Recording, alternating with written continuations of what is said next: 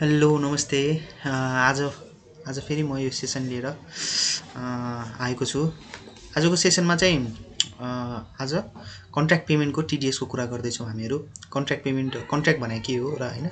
अनि कन्ट्र्याक्ट भने के हो? योभित्र के के पर्न सक्छ र पेमेन्ट यसको कन्ट्र्याक्टको पेमेन्ट गर्दाखेरि होइन? यस्तो कन्ट्र्याक्टमा कन्ट्र्याक्ट गरेछ अनि त्यो बापतको पेमेन्ट दिँदाखेरि चाहिँ टिडिएस कसरी काट्ने के काट्ने कसलाई दिँदाखेरि काट्ने आज कुराहरू भन्दैछ। यो मेरो टिडिएसको लगभग सातौँ सेसन छ। टिडिएस सम्बन्धी चाहिँ सातौँ सातौँ सेसन हो होइन? तर यो टिडिएसको स्पेसिफिकली कुरा गर्ने सेसन चाहिँ छैटौँ हो है त? ल अब अहिले हामी के बुझ्न गइरहेको छौँ भन्दाखेरि चाहिँ कन्ट्र्याक्ट। सुरुमा कन्ट्र्याक्ट बुझ्नुभन्दा पनि यो भनिने जुन मैले भन्छु जहिले पनि टिडिएसको स्टार्ट गर्दाखेरि जहिले पनि पर्सन अब रेसिडेन्ट पर्सन पे भन्छ अब यस्तो टर्महरू युज हुन्छ यहाँ। रेसिडेन्ट पर्सन रेसिडेन्ट पर्सन अब पर्सन भनेको के हो त? रेसिडेन्ट पर्सन प अब रेसिडेन्ट भनेको त देशभित्रको भइहाल्यो रेसिडेन्ट बासिन्दा। भनेपछि पर्सन भने चाहिँ के पऱ्यो? इन्टिटी प्लस भनेपछि यिनीहरू पऱ्यो पार्टनरसिप फर्म ट्रस्ट कम्पनी अब नेचुरल पर्सन मात्रै भन्यो भने नेचुरल पर्सनले मात्र पे गरेछ भन्यो भने के सम्झिनु पऱ्यो हामीले? नेचुरल पर्सन ह्युमन बिङ मान्छे सोल प्रोप्राइटरसिप फर्म र कपाल एज अ कपाल भनेको दम्पति यिनीहरूले पे गरेछ है त? यो सिम्पल हो। डिटेली बुझ्नु छ भने मेरो अगाडिको लेक्चरहरूले यो भिडियोहरू हेर्नुहोस्। त्यसमा अलिक डिटेली बुझाएको छु है त? अब हामी कन्ट्र्याक्टको मेन के हो त कन्ट्र्याक्ट भनेको कुरा हामी जान्छौँ है त? अब इन्कम ट्याक्स एक्टमा चाहिँ यो कन्ट्र्याक्ट भनेको डेफिनेसन चाहिँ दिएछ तर स्पष्टीकरण चाहिँ दिएछ। है त? अब कन्ट्र्याक्ट उसले के मान्छ त? केलाई चाहिँ कन्ट्र्याक्ट मान्छ? अब जस्तो कन्ट्र्याक्ट पेमेन्ट दिँदाखेरि टिडिएस काट्ने भन्छ होइन? कस्तो टाइपको कन्ट्र्याक्टलाई चाहिँ कस्तो टाइपको लाई चाहिँ कस्तो कस्तो कन्ट्र्याक्टलाई चाहिँ यो कन्ट्र्याक्ट पेमेन्टमा इन्क्लुड गरिएछ भन्ने कुरा चाहिँ यो क्ल्यारिफिकेसनबाट चाहिँ हामी बुझ्न सकिन्छौँ। है त?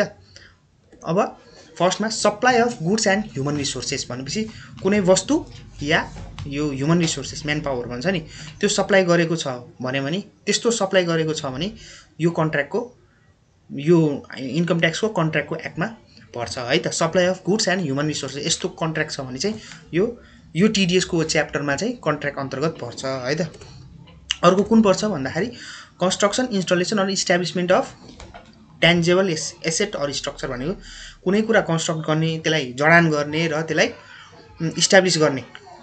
के यस्तो ट्यान्जेबल एसेटको भनेपछि त्यस्तो कन्ट्र्याक्ट छ भने कन्स्ट्रक्ट गर्ने इन्स्टल गर्ने इस्टाब्लिसमेन्ट गर्ने कन्ट्र्याक्ट छ भने चाहिँ के हुन्छ त? यसलाई पनि कन्ट्र्याक्टको भित्रमै राखेछ है त? ल त्यसपछि अर्को के छ भन्दाखेरि and other prescribe by the department र अदर अब डिपार्टमेन्टले इन्कम ट्याक्स डिपार्टमेन्टले अरू जे जेलाई कन्ट्र्याक्ट भन्छ उसको हिसाबले राख्न पाइयो भनेर एउटा पोइन्ट यहाँ छ। है त? कुरा बुझ्नुभयो? एउटा supply of goods and human resource यो स्पेसिफिकली भनिदियो यो पर्छ भनेर। Construction installation or establishment of intangible asset or structure भने यो स्पेसिफिक अरू चाहिँ राइट कसलाई दियो त? डिपार्टमेन्टले यो कन्ट्र्याक्ट मान्छु म भनेपछि हामीले मान्नै पऱ्यो है त? ओके अब अर्कोमा के छ भन्दा and service element payment of this contract अब यो सर्भिस इलिमेन्ट हुन्छ कि? यस्तो कन्ट्र्याक्ट पुरा गर्नमा जति पनि यस्तो कन्ट्र्याक्टहरू गऱ्यो अब यो कन्ट्र्याक्ट पुरा गर्नलाई जस्तो सर्भिस इलिमेन्ट हुन्छ नि हो त्यो पनि इन्क्लुड हुन्छ अरे क्या त्यो कन्ट्र्याक्टमा अब यो गर्ने मलाई एउटा खाल्टो खनेर त्यसमा मलाई के अरे नेपाल टेलिकमको टावर घुसाउनु पऱ्यो अरे। भनेपछि त्यो काम गरिदिने त्यो काम गरिदिने त्यो काम गर्ने भने त कन्ट्र्याक्टै हो? तर त्यसमा अब मान्छेको सर्भिस हुन्छ वेजेसहरू दिन्छ। जति पनि त्यो सम्बन्धी जति पनि सर्भिस इलिमेन्ट हुन्छ त्यो कन्ट्र्याक्ट कम्प्लिट गर्नलाई हो त्यो के हुन्छ त? यो एन्ड सर्भिस इलिमेन्ट भन्छ है त? ल अब यति भनेको यो यो कन्ट्र्याक्टसँग सम्बन्धित जति पनि पेमेन्ट हुन्छ अब हामी यो सम्बन्धीको कन्ट्र्याक्ट पेमेन्टलाई चाहिँ हामी के गर्छौँ त? अब अगाडिको अगाडि जुन कुरा भन्दैछु त्यसमा चाहिँ यही कन्ट्र्याक्टको चाहिँ पेमेन्टको कुरा गरिरहेको है हामीले? यो बुझ्नु पऱ्यो है त? ल। अब section eighty nine sub section one अब कन्ट्र्याक्ट पेमेन्ट अब यहाँ पहिला के भन्नु पऱ्यो हामीले कन्ट्र्याक्ट पेमेन्टको कसलाई दियो त भनेपछि टु एउटा रेसिडेन्टलाई दियो रे। रेसिडेन्टको केसमा के हुन्छ? कन्ट्र्याक्ट पेमेन्ट रेसिडेन्टले दिँदाखेरि के हुन्छ र नन रेसिडेन्टले कन्ट्र्याक्ट पेमेन्ट दिँदाखेरि चाहिँ के हुन्छ? है त कन्ट्र्याक्ट पेमेन्ट टु रेसिडेन्ट पर्सनलाई दियो भने के हुन्छ?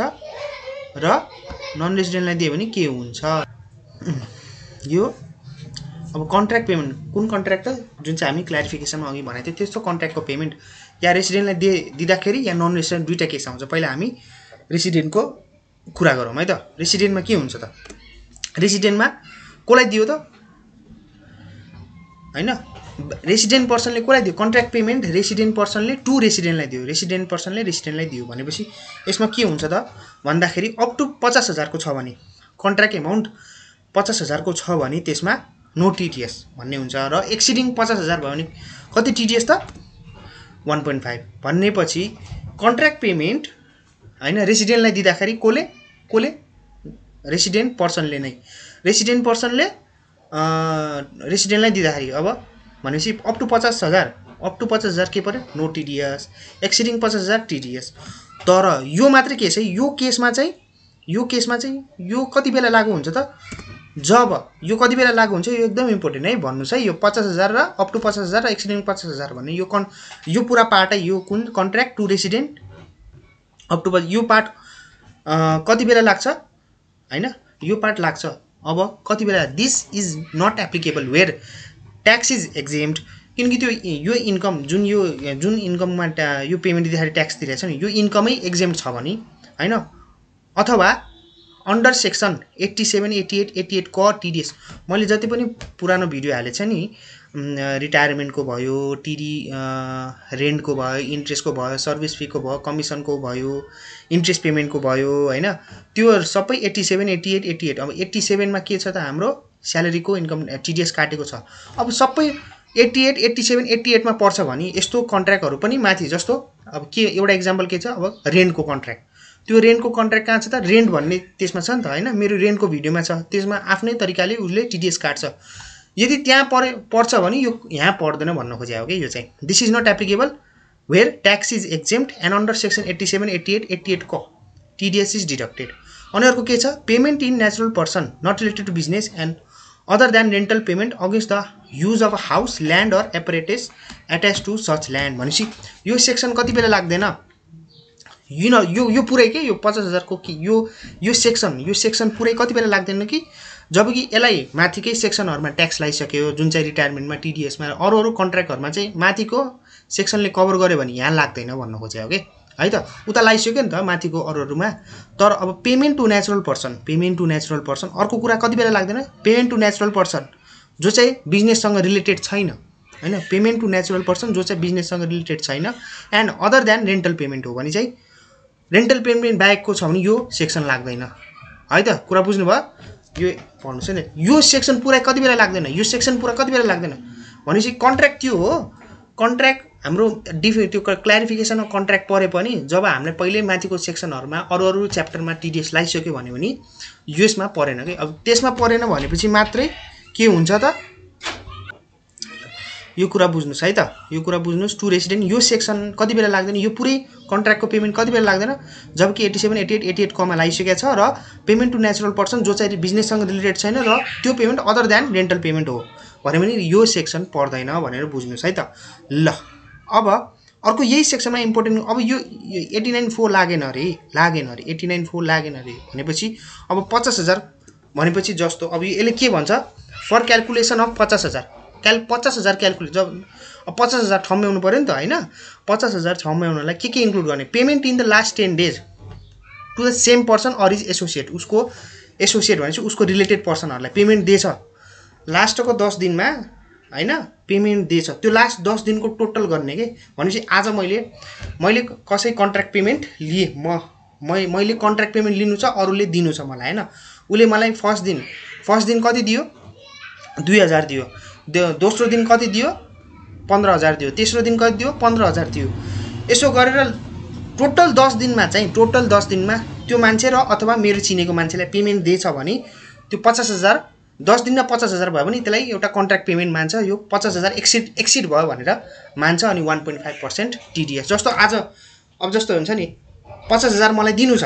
कसैलाई मलाई पचास हजार दिनु छ होइन? मैले पचास हजार न म पच्चिस पच्चिस हजार गरेर दिन्छु भनेर आज पच्चिस हजार भोलि पच्चिस हजार भनेर मलाई त लागेन नि त टिडिएस लगाएर भन्ने जस्तो कन्सेप्ट होइन कि? जस्तो लगातार दस दिनमा त्यही मान्छेलाई पेमेन्ट दिएछ भने पचास हजार पुग्नु पऱ्यो कि? दस त्यो दिनमा त्यो भने पनि एक्सिडिङ पचास हजार नै मान्ने। है त?